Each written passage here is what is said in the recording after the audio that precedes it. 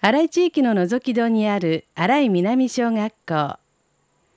今年度から市内全地域から通学を認める小規模特認校になりました。豊かな自然の中で少人数という特徴を生かした教育に取り組んでいます。特に力を入れているのが外国語活動で英語教育の充実を図っています。外国語指導助手 ALT を重点的に配置し市内の他の小学校よりも多い1から4年生で年間20時間56年生で45時間の外国語活動を行っています。9月2日5年生のクラスで2学期初めての外国語活動の授業が行われました。英語を使って友達の好みを聞き取り T シャツのデザインを考えるというものです What shape do you like? Do you like? What shape do you like? I like I like circle. circle. What color do you like? I like yellow. Yellow.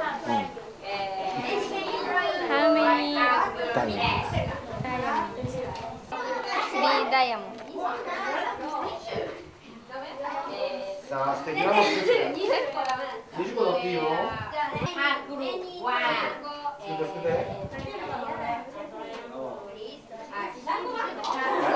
Five square. Five square. 子どもたちは自分の知っている英語を使って相手にイメージを伝えようと積極的に取り組み個性豊かなデザインを完成させていました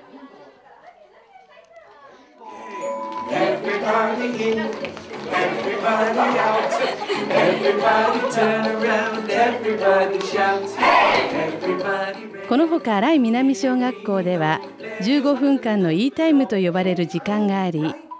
歌やダンスを通して楽しみながら英語に触れる機会も設けられています。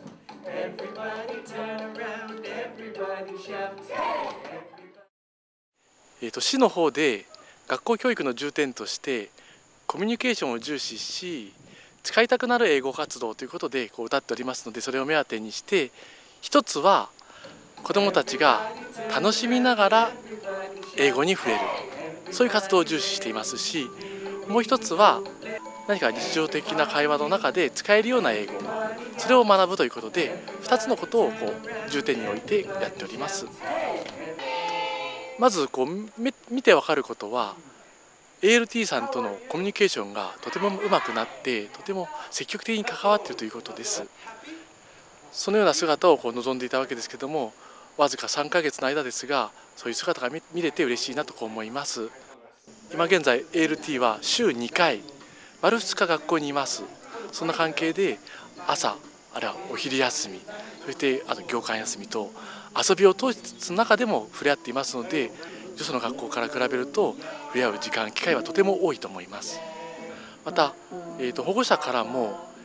習ったことを家で話をしてくれる英語を話してくれるということで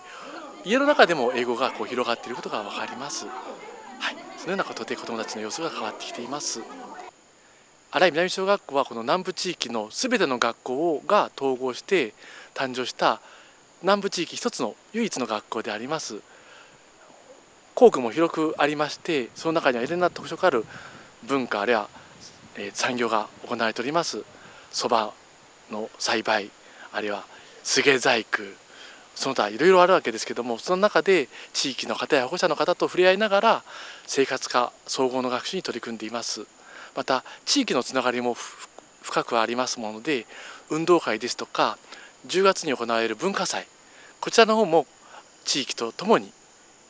実践していくということで今計画を練っております。自然を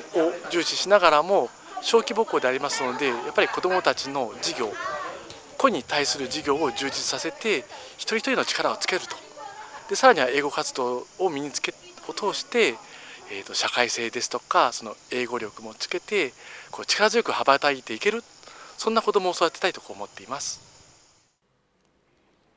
現在新井南小学校では来年度入学を希望する校区外からの児童を募集しています。募集しているのは1から6年生の全学年で募集人数は少人数の特徴を生かすため各学年3名程度です。募集の締め切りは12月26日です。えー新井南小学校は今年度より小規模特任校としてスタートを切りました、えー思いっきり豊かな自然の中で体験活動をしたい人。少人数の中で存分に自分を表現してみたい人。えーそして外国語活動に興味のある人。えーそんな希望を持った人たちにとって新井南小学校は希望を叶える学校です。具体的な学校の様子について知りたいという方は10月5日水曜日18時30分から新井南小学校で学校説明会を開始しますのでえー気楽にお出かけください。実際の子どもたちの様子を見たいという方にはオープンスクールを予定しています。オープンスクールの日程は市のホームページ等に載せてありますのでご確認ください。また、えー体験をしたいという希望のある人については体験入学もできます。ぜひ多くの人から興味や関心を持ってもらいたいと思います、えー待ってます。なお新井南小学校の児童募集について詳しくは妙高市教育委員会子ども教育課へお尋ねください。